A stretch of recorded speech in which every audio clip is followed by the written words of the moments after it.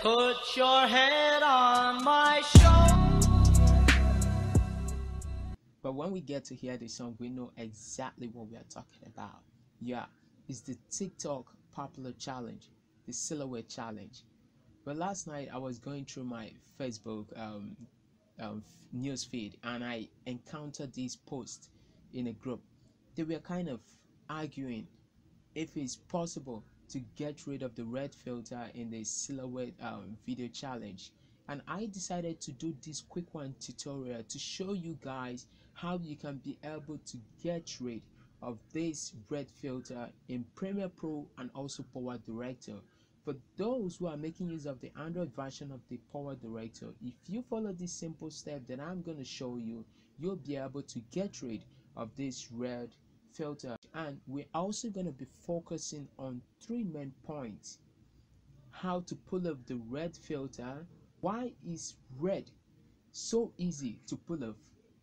And third if it's completely possible for one to get to see the person standing in front of the camera turning on that red filter on if it's possible to get to see the person and also the clock the person is putting on. So without wasting much of your time let's jump straight into adobe premiere pro.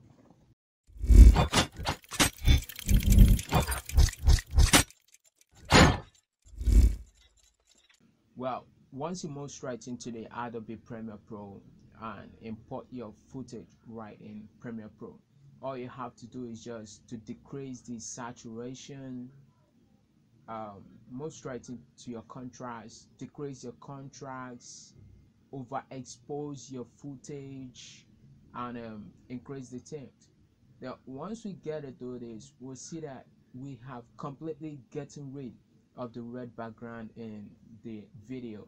And we can see that we almost got the face also the uh, the club exactly the person is um, putting on why um, doing the challenge or recording the challenge. Let's move straight into power director and see if we can be able to do the same thing we did right in premiere pro straight in um, power director. So once you get into the um, power director you import your footage. For those who are making use of the android version of the power director you can still follow this simple step to pull off the red filter from the uh, video itself. Once you import your footage get straight to the fix and enhance. Once you click on it we can see the um, color adjustments. Click on the color adjustment then move straight to your saturation. Decrease your saturation.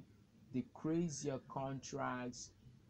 Increase your brightness. Increase your exposure overexpose the video. And you try to make sure that while you are overexposing you try not to do it that much. So the video will not get that uh, much bad that you can't even get to see anything.